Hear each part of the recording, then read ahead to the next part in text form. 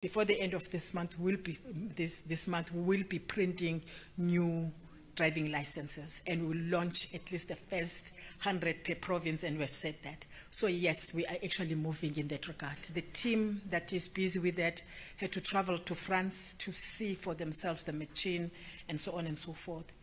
Um, I wouldn't want to go into details about that because I'm not supposed to be in the bidding process at all. But we're at the tail end of that.